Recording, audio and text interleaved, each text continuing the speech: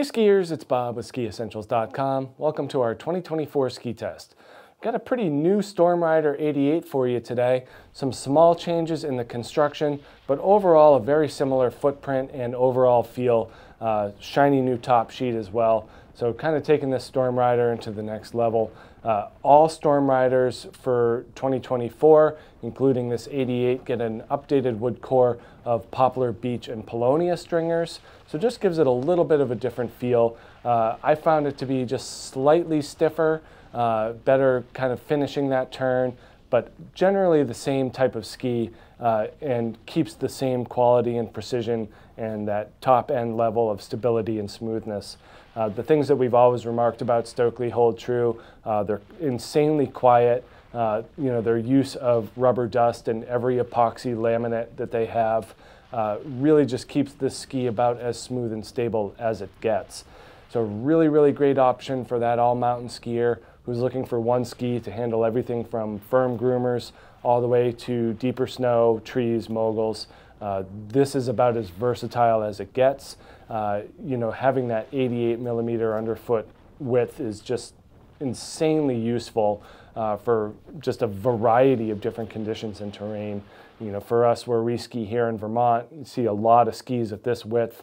Um, you know, it might be a narrow option for skiers that are in snowier zones, but for the most part, uh, the, the lighter weight, the ability of this ski to flex makes it better in softer snow while still retaining that firm snow, uh, you know, just tight, like tight, tight turn uh, style in anything that's firmer than softer groomers.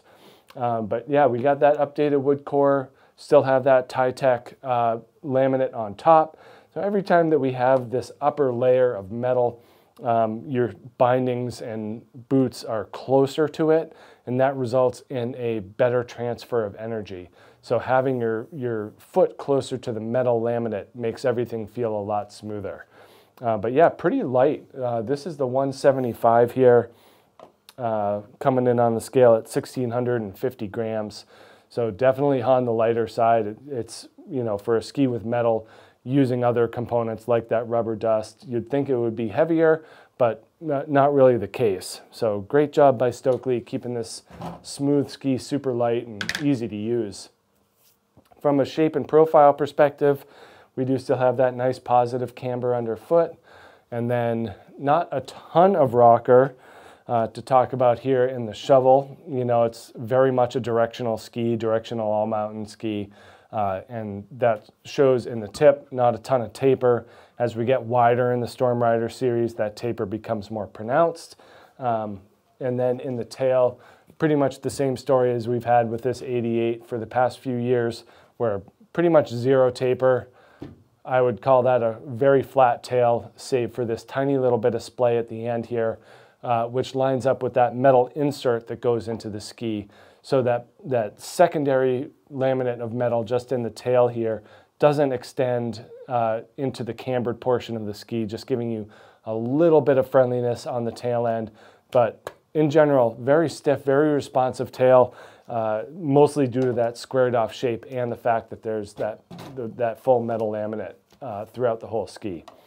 Um, you know, it does come at a price, but you're getting the quality and the smoothness out of it. It's not that this does more or better things than other skis at this high-end performance spectrum.